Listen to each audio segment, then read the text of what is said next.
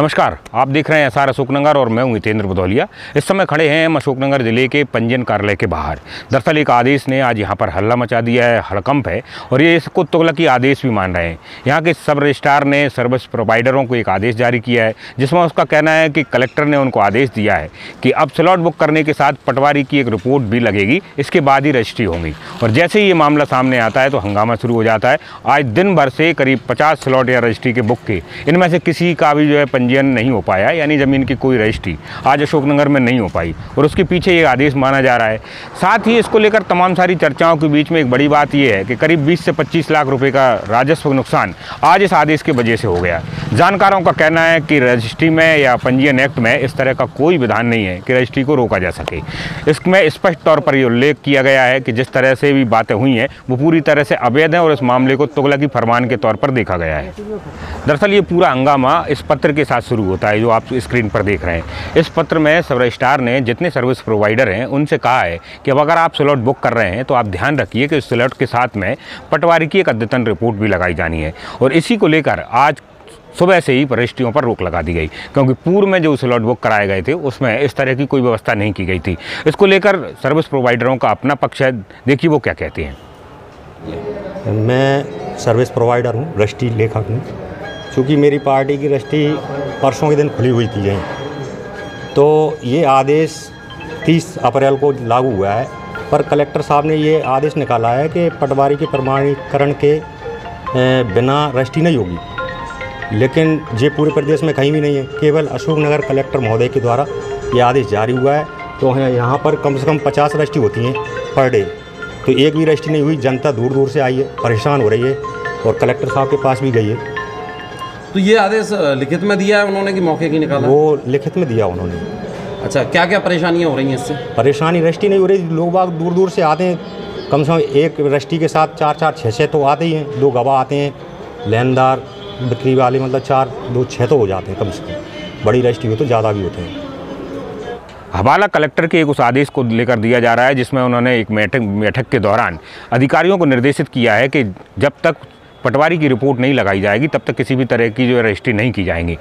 Collector के इस आदेश को लेकर ना तो पूर्व में कोई चर्चा हुई और ना ही किसी भी तरह को उसको लेकर प्रचारित किया गया। आनंद फानन में जितने लोग आज रजिस्ट्री कराने के लिए आए थे, उन सबको ये कह दिया गया कि आपकी रजिस्ट्री नहीं हो सकती क्योंकि उसमें पटवारी रिपोर्ट नहीं है। तो लोगों की बड़ी समस्याएँ हैं, कुछ लोग शादी के सीज़न में सिर्फ़ अपनी ज़मीनों के सौदे इस वजह से कर रहे थे कि उनको शादी करानी थी या कुछ बहुत महत्वपूर्ण काम थे। इसके अलावा कई सारे लोगों के पूर्व से इस तरह के आपस में जो है समझौते थे, एग्रीमेंट थे कि आज की तारीख को उनको कराना है। ऐसे में उनके आज रजिस्ट्री ना होने से कई सारी दुविधाएँ और दिक्कतें हो रही। अगर ये लंबा खिंचता है तो इसको और भी खराब परिणाम सामने आ सकते हैं।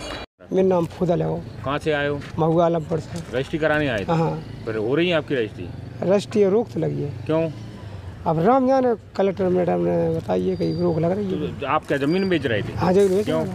मुँह बच्ची को ब्याह तो करने साहब। कब है आपकी शादी परसों चार तारीख की। तो सिर्फ़ शादी की वजह से ही ज़मीन बेच रहे हो? अरे तो अब अपनी खावी पी व्यवस्था भी तो हो और ब्याह ब्याह कपड़ा चित्र सब व्यवस्था हो गरीब आदमी है। तो ये अगर रजिस्ट्री नहीं हुई आज तो शादी दिक्कत होगी? अरे अब दिक्कत नहीं है तो फिर अपन कैसे व्यवस्था बना? भाई सोच रहे थे। और आज रजिस्ट्री नहीं हो पाई तो शादी में तकलीफ़ हो जाएगी फिर। और तकलीफ़ हो जाएगी अब वो कुछ व्यवस्था करने वो तो पैसा देगा। आज मैं रजिस्ट्रार कार्यालय में रजिस्ट्री करवाने के लिए आया था और जिसकी रजिस्ट्री होने वो बाहर से आए हैं। कम से कम पाँच छः जने हैं और रजिस्ट्रार ऑफ़िस में एक नया नियम लागू हो गया है कि प्रमाणीकरण बनवा कर लाइए। अब प्रमाणीकरण बनवाने के लिए पटवारी के पास जाएँगे पटवारी साहब है नहीं है अभी। उनके लिए ढूंढेंगे जब तक ढूंढेंगे जब तक रजिस्ट्री हो नहीं पाएगी। तो ये जो नियम है इससे किस टाइप की परेशानी हो रही है आपको? क्या ये नियम से बहुत परेशानी है कि ये नियम रहेगा तो पहले पटवारी साहब के पास जाएँगे उनके पास जाने के बाद ही रजिस्ट्री हो पाएँगी और पटवारी साहब टाइम पे नहीं मिले तो रजिस्ट्री नहीं हो पाएँगी। कुल मिला के ये है कि ये नियम आपके हिसाब से क्या लागू रहना चाहिए? नहीं ये नियम लागू नहीं रहना चाहिए। जब लोगों की रजिस्ट्रियाँ नहीं हुई तो ये मामला मीडिया के पास पहुँचा। मीडिया जब पंजीयन कार्यालय में पहुँची तो सब रजिस्ट्रार का कहना है कि उनके यहाँ से इस मामले को लेकर कुछ भी नहीं किया गया। कलेक्टर महोदय के आदेश के बाद रोक लगाई गई है। उनका कहना है कि बैठक में उनको आदेश दिया गया जिसके पालन में किया जाना है। हालाँकि उनका कहना है कि पूर्व में वह अद्यतन रिपोर्ट जो होती थी खसरा की उसके आधार पर ये काम करते रहते थे। मगर बदले स्वरूप में कलेक्टर के आदेश के बाद इसको बंद करना पड़ा है। वही कलेक्ट श्रीमान कलेक्टर महोदय के अनुसार कहा गया है कि उसमें जब तक पटवारी का प्रमाणीकरण ना हो तब तक रजिस्ट्री ना की जाए। सर ये कब से आदेश ये दो ये तीस अप्रैल को में आरोप बैठ बैठक थी उसमें कहा गया था पहले क्या नियम थे? मतलब पहले के- किस तरह रजिस्ट्री करा नहीं पहले एक साल के खसरा के अनुसार करते थे उसमें पटवारी का कोई वो नहीं था कि पटवारी की प्रमाणीकरण लेना आवश्यक है वो कुछ नहीं। ये नियम निकालने का कारण क्या रहा? ये मैडम का कहना ये था कि दो बार तो कई कई ज़मीन जो नामांतरण नहीं करवाते तो दो दो तीन दिन बार कर रजिस्ट्री हो जाती है। और कई ज़मीन पट्टी की है। उनको राजस्व अभिलेख में भूमि स्वामी घोषित कर दिया गया है। तो ये इस विसंगति दूर करने के लिए प्रयास किया जा रहा है। अच्छा इस तरह कोई मामला सामने आया था क्या? नहीं अभी तो फ़िलहाल हाँ एक मामला आया था यहाँ आसपास तो उसमें दो बार घुस दी है। लेकिन इसकी समस्या ये है कि व्यक्ति यदि नामांतरण नहीं करवाए तो वो फिर वही दर्ज रहती है पुरानी जो। तो वो तो फिर दो दो बार तीन बार चार जब चाहे तब इतनी बार बेच सकता है।